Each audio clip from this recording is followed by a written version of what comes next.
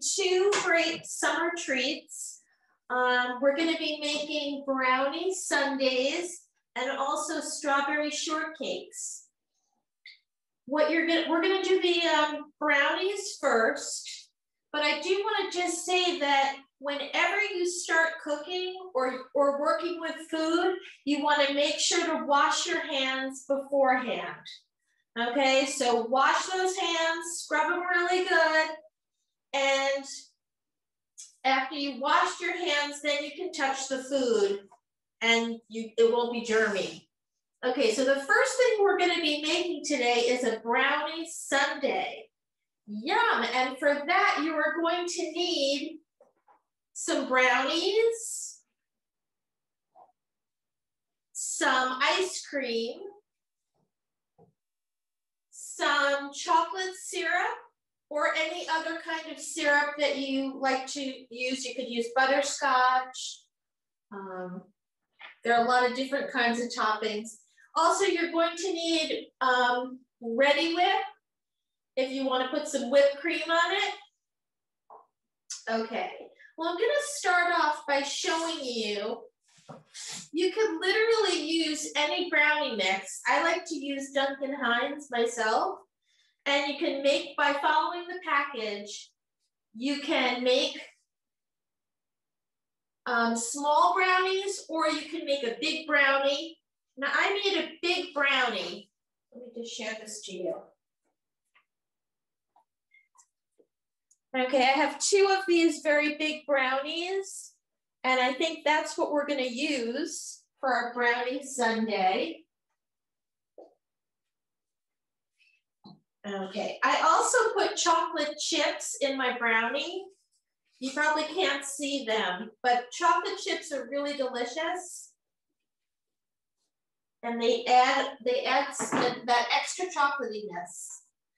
Okay, so I've got my brownie on a plate, but I really want to use a sundae bowl. So I'm gonna have to cut my brownie into four pieces.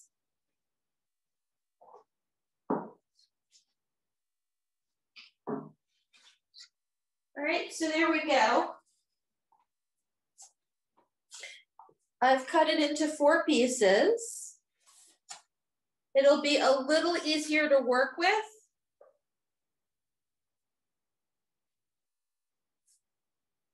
Okay. My ice cream is melting here. It's such a nice day outside, a little warm. Okay, so I'm gonna take my brownie pieces.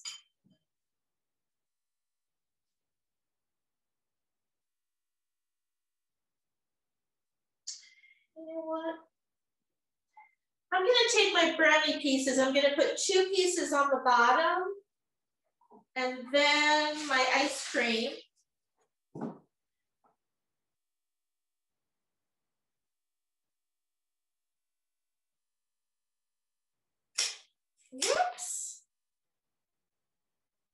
Got ice cream going everywhere.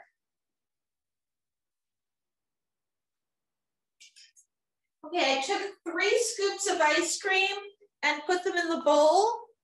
So I have one scoop over here, one scoop over here, and then one scoop on the top. Okay, hopefully you can see that.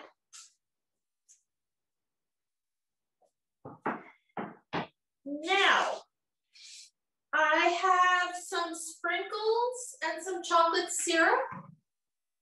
So what I'm gonna do is put a few sprinkles on. You can put as much or as little as you like. Some people love sprinkles. I like sprinkles, but I'm not that crazy about them. I think they look pretty. Okay. And I'm gonna take my two remaining brownie pieces and put them on the side.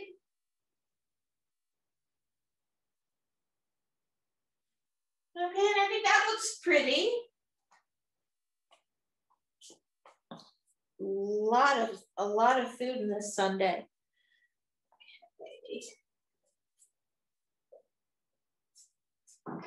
Okay. Okay. And I'm gonna take my Reddi-wip and put some whipped cream on them.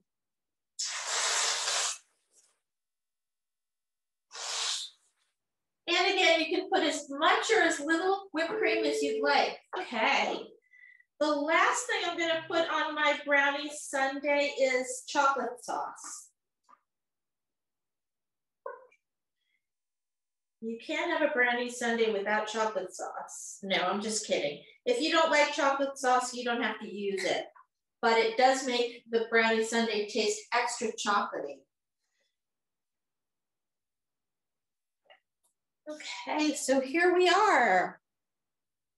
There is my brownie sundae.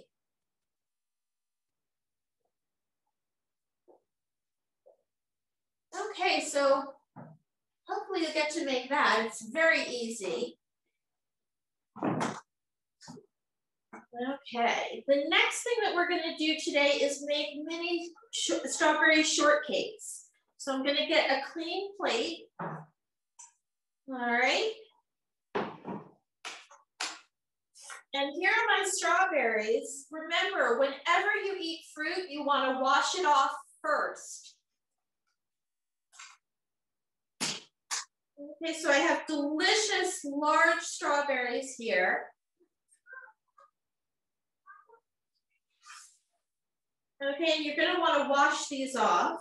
Okay, so I have these delicious organic red strawberries.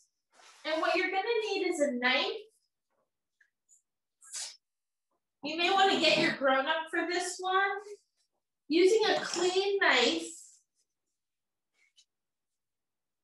you just wanna cut the stems off of the strawberries. It's really quick. You can have your mom help you, your mom, who's ever with you, and then you wanna cut them uh, in half. So I'm gonna make a few. Rather, I'm gonna cut a few.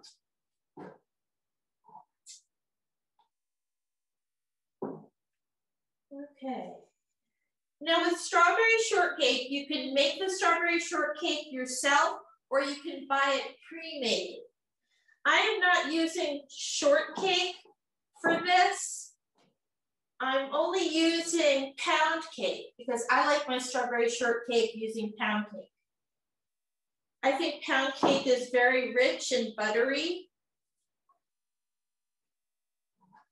Okay, so here we go. We have some strawberries. So I'm just cutting them in half. I'm taking the stems off.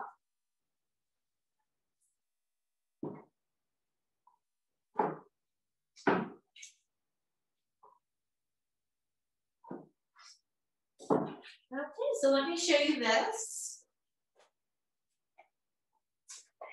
These are the strawberries. Remember, you want to cut them in half after you take the stems off. So you'll have a nice selection of pieces. Okay.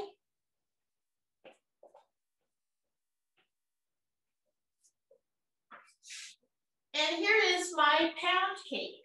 You can make pound cake just like you could make strawberry shortcake.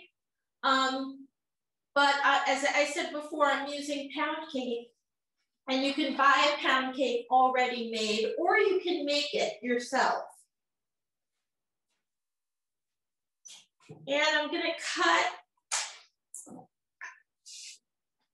a nice big piece of pound cake. I think I will take a piece right from the center.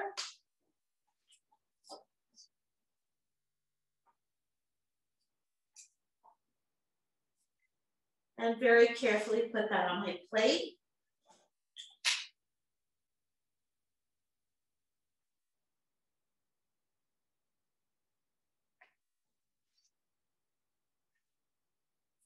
Okay, then I'm gonna take another piece and put that on my plate.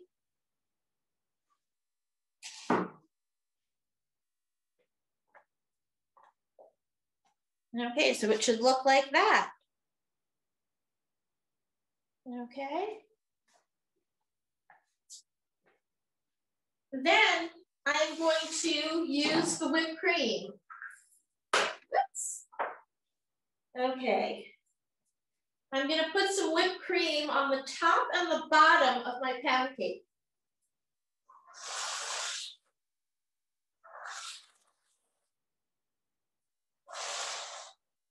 Okay. And then I'm gonna place my strawberries all around my cake, my pound cake.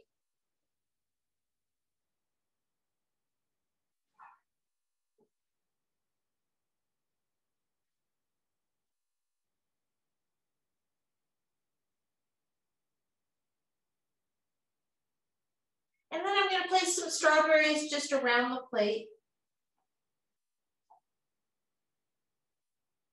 Again, you can use as much or as, uh, you know, as many strawberries as you want, or you can use very little. I'll put more whipped cream on.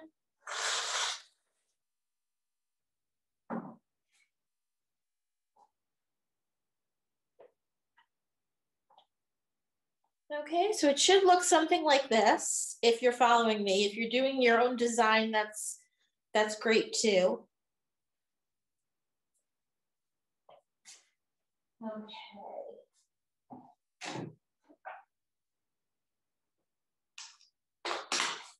So we have our two summertime treats.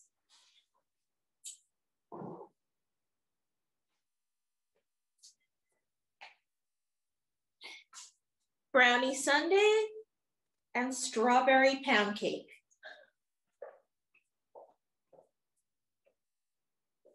Well, thanks for joining me. I hope you're able to make these recipes.